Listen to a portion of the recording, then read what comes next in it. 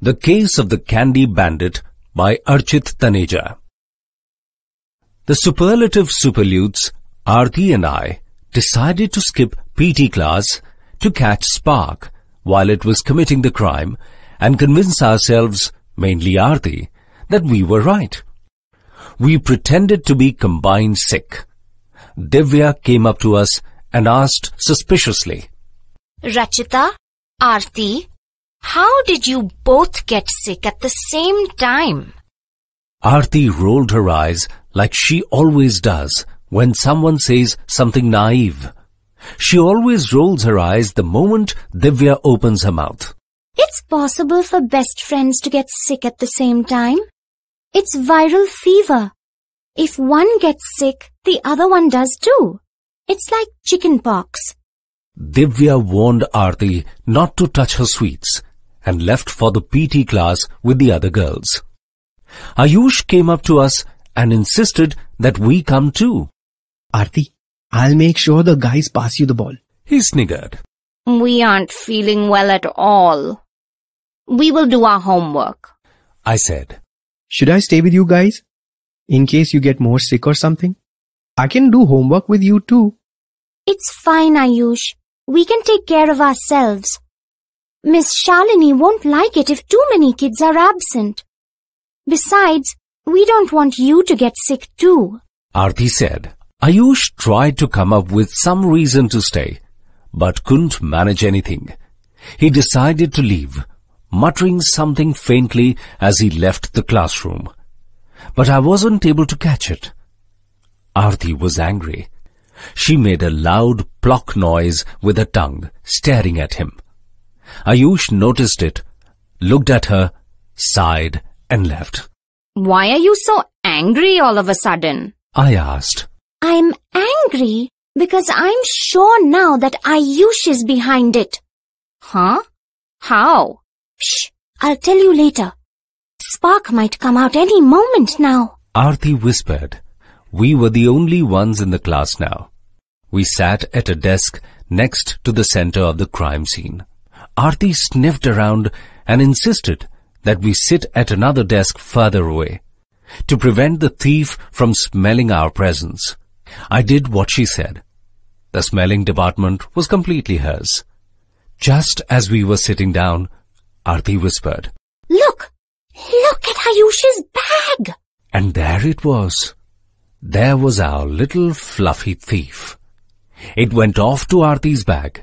It grabbed the treat packet with toffees in it, holding one end in its mouth. Aarti couldn't control her excitement. Oh, Spark! You are so adorable! Take as many toffees as you want, baby! She whispered, as if talking to a little baby. I had to shh Aarti down. Spark realized that it wasn't alone. It ran with the toffee back to Ayush's bag. Keep your mouth shut, Aarti. Spark will figure out we are here. I whispered to her in an angry voice. Aarti looked at me right in the eye. Uh, sorry. Please don't be so loud. I said again, nicely. That's more polite. Aarti smiled and turned back to Ayush's bag, hoping Spark would come out again. Spark finally took a peek outside. It went to Arjun's bag this time. Arjun had got a cupcake made by his grandma. Spark was in Arjun's bag for a while. It finally came out and slowly dragged the heavy packet back towards Ayush's bag. Spark decided to take a break. It stopped somewhere close to the center of crime. It snuggled into the treat pack and spent a while inside it, moving a lot. It came out with little cupcake pieces stuck on its whiskers. It seemed more upbeat now. It had clearly been eating the cupcake. It then slowly dragged the treat pack back into the bag. It came out again and headed towards my bag. I had got a banana today. It came out quickly without anything and rushed into another bag close by. We saw it drag a treat packet with a chocolate bar inside it. At one point, it tried to dig inside the treat packet and tear through the chocolate wrapper, but it gave up and continued with the task of slowly dragging the treat packet back to Ayush's bag. After that, Spark didn't come out for the rest of the recess. The class was about to end. Aarti and I looked at each other and smiled. I took out the case file and plotted Spark's path. Spark must be finishing the rest of the cupcake now. Aarti giggled. What was that strange noise you made in front of Ayush? I asked Aarti, Ayush made that plock sound with his tongue when he left the classroom. It was the same sound he used while showing us Spark's tricks. I wanted him to know I'd heard it. Oh, I hardly heard it. I knew Aarti had a sharp nose. I didn't know she had a sharp ear too. Why did he make that sound though? Aarti wondered. Maybe he wanted to warn Spark that the classroom wasn't empty. He didn't train him well enough after all. We saw it commit the crime. said Aarti, raising a victory fist in the air. So you are convinced now? I asked. Sure am, me mate. Aarti winked. Divya entered the class, followed by Arjun and Vipul. The classroom started to fill up.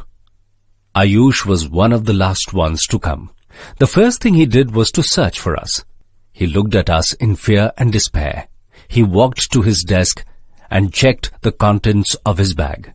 He sighed and tried hard not to look at us for the rest of the class. Arjun screamed and made his usual horrified face when he found his cupcake wasn't there.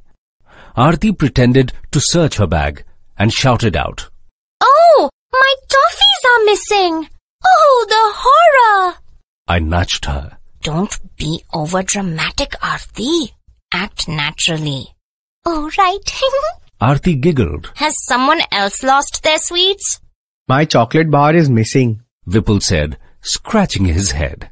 I got an apple today. It's still there. Said Ayush, acting disappointed. The only thing Ayush doesn't hate is candy. He loves candy so much that he is ready to steal it. And he's had the perfect accomplice to get away with it. Stealing is not cool, but making your pet rat steal for you is despicable. We were both quite angry with him. Spark isn't the thief. Ayush is. I feel so bad for Spark. Aarti cried out when we were alone. Yeah, Spark is just following his orders.